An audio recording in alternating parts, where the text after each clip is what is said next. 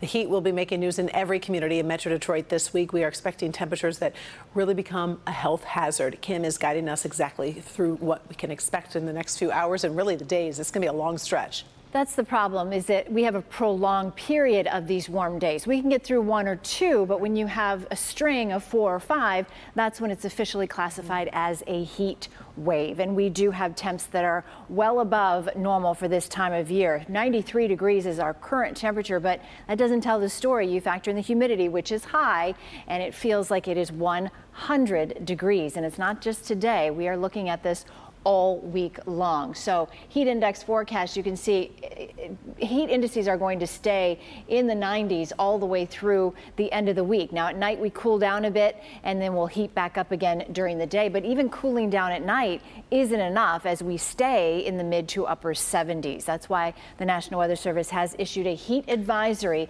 Now what you see in gray here, Genesee, Oakland, Macomb and Wayne counties not included in the advisory or the watch. Those are one level up. It's an excessive heat warning if you live in these counties. And the reason why is something called the urban heat island. You might have heard of this before, but when you live in the city, there's a lot of concrete, not a lot of green spaces. And so that concrete absorbs the heat during the day. And it's really tough to cool down at night as well, as opposed to rural or more suburban areas. So the more concrete you have, obviously, the hotter the temperature is going to be. Now let's talk about high temps over the next several days. You can see our normal high is 81.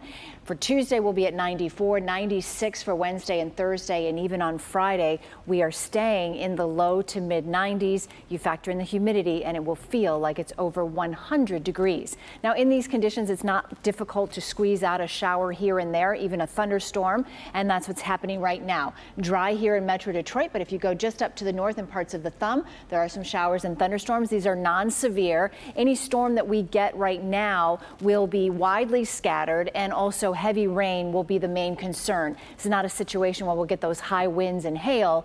Heavy rain and excessive rain and the potential of some flash flooding is what we would be concerned about with these storms. A few more to the west of Kalamazoo. By the way, that storm that came through last night when there was a tornado warning, if you have some friends and family over in the Kalamazoo, Gobles area, uh, that was not confirmed as a tornado by the National Weather Service today. More than likely it was just a downburst, but there's a lot of damage out to the west. But we'll see if we have anything pop up here in Metro Detroit. But as of right now, it is completely dry. But it's a good time to have that 4Warn weather app handy because these would be those kind of pop-up storms that could really uh, pop up at any moment. 75 will be the overnight low tonight. A few clouds, very humid. Winds are out of the south at 5 to 10. And then tomorrow right back up to 94 degrees. A little bit better chance for a scattered shower, maybe a thunderstorm tomorrow afternoon.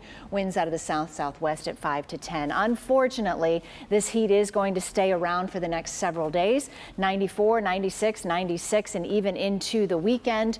The start of the weekend will be 92. A break will come perfect timing on Monday, just in time for the fireworks. Karen. All right. Thanks, Kim.